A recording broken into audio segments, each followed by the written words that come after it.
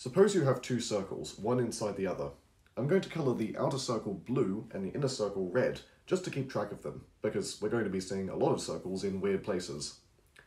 Now, place a circle at the closest point between them, just touching the outside of the inner circle and the inside of the outer circle. You can then add more circles, building around the space in between the outer and inner circles, creating a big chain.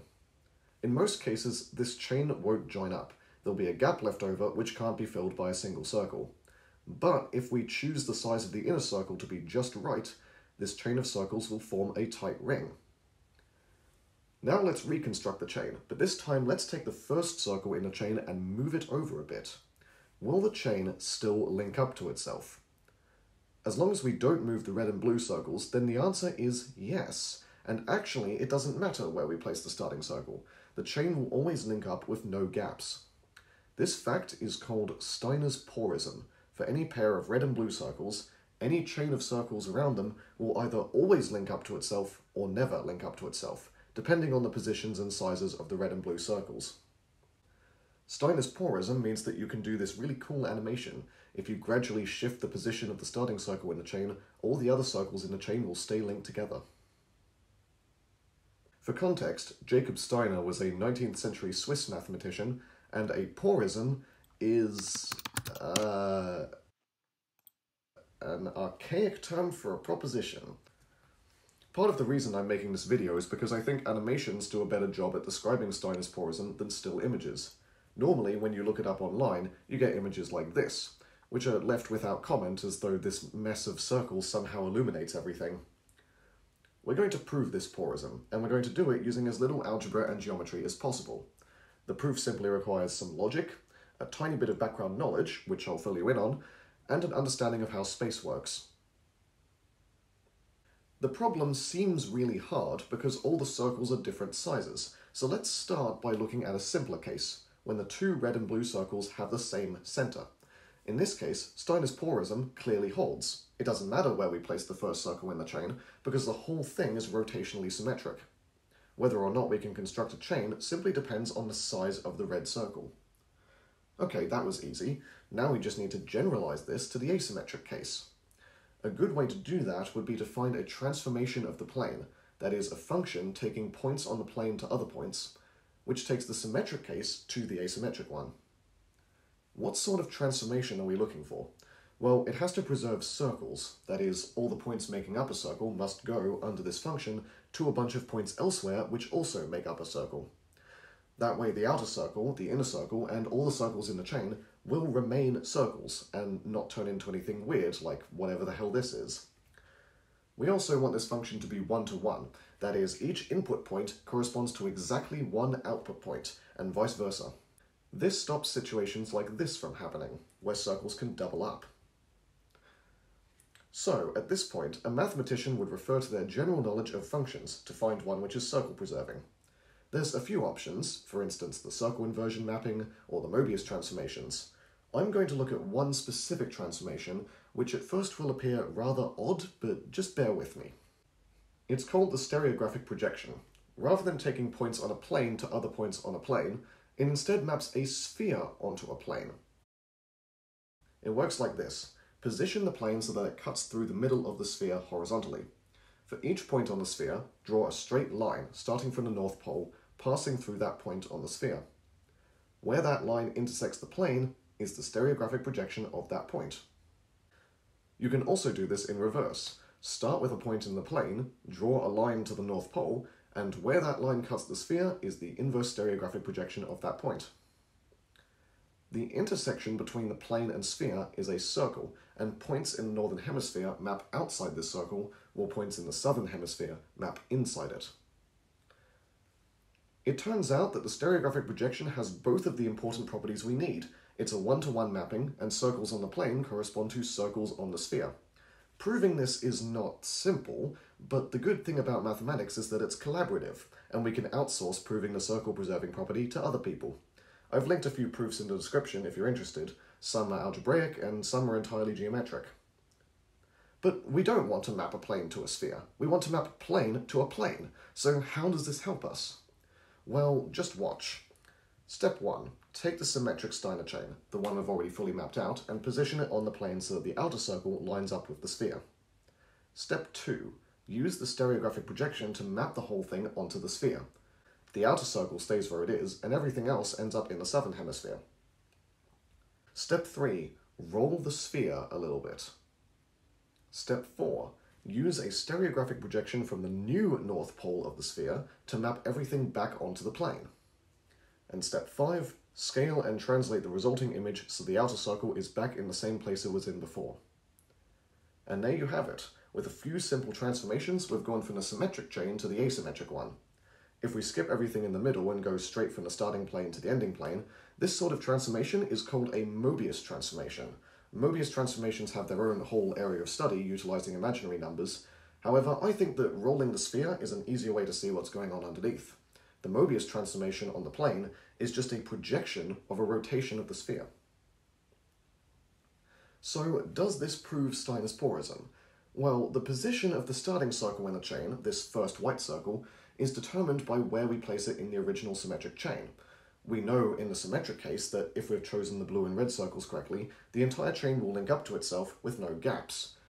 It seems obvious to infer from this that the chain will link up to itself after the transformation as well, but how do we know that the transformation doesn't mix everything up, separating the circles in the chain?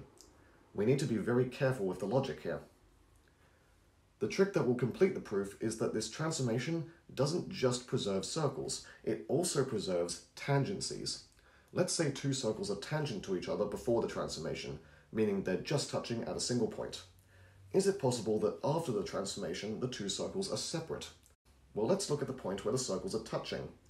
This point lies on both circles, and since the transformation preserves circles, the point must be on both circles after the transformation. But that's not possible because the circles have no points in common. So after the transformation, the two circles can't be separate.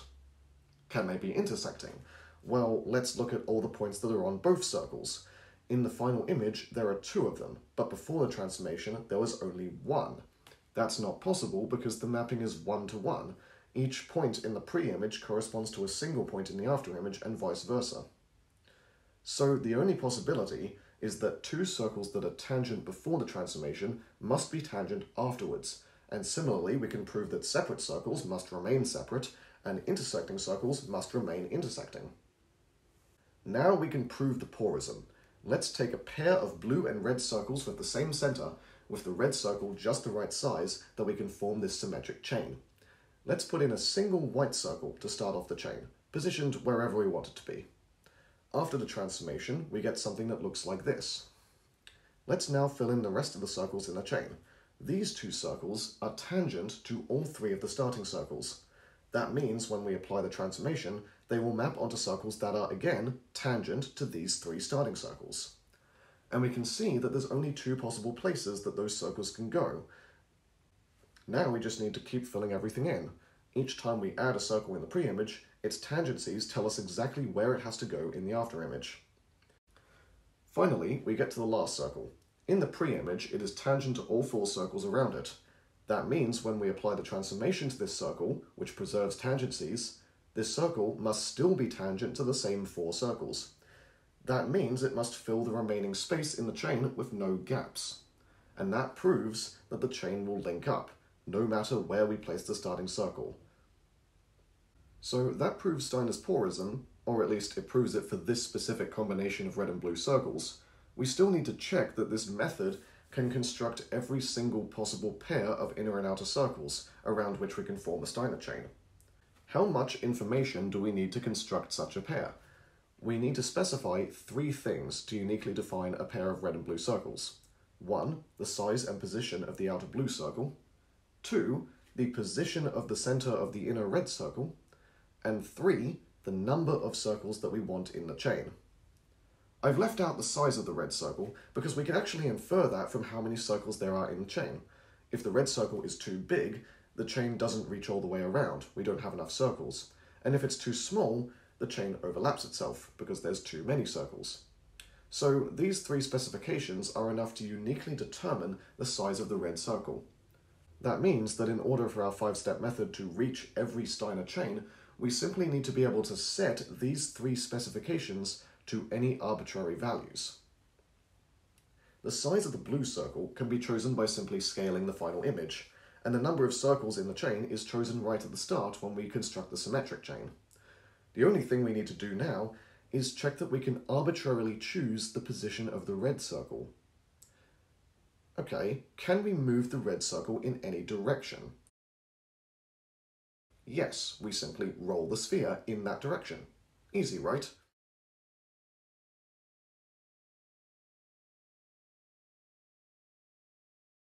But there's a catch. How do we know if we can move the red circle far enough?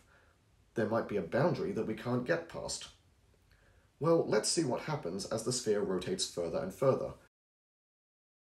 Let's look at these two opposite points on the blue circle. As the rotation approaches 90 degrees, one point approaches the south pole, which maps onto the center of the plane.